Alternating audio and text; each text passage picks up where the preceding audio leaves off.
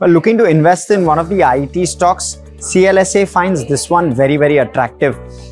HCL Technologies, CLSA has a target price of 1524, but they're giving a 20% upside to this. Four quick reasons why CLSA believes this one is a positive. First off, the cost optimizations which the industry required is required to make at this point favors HCL Tech as per CLSA. They believe that uh, all the initiatives taken by HCL Tech over the last four to five years should likely uh, aid the company in this environment at this point.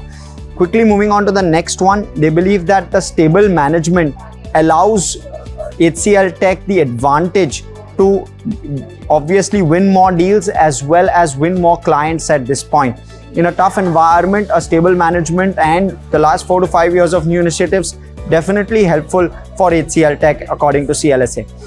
Third off, with regard to valuations, the stock has underperformed just about a 4% where TCS has gone up 20 uh, over the last one year or so and therefore they believe that the risk reward looks better in terms of uh, target price therefore they've given it a target price of 1524 the stock currently trades at a trailing 12 months of 23 times earnings and a dividend yield of 3.8 percent versus the 4.4% which CLSA estimates to be the dividend yield over the next 12 months plus a 15 to 16% upside on the stock. CLSA therefore believes a 20% upside is likely on this counter.